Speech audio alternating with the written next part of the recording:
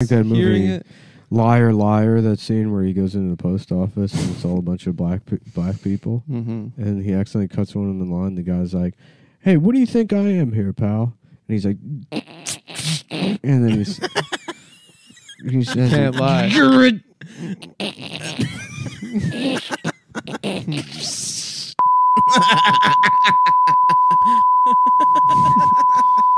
Okay.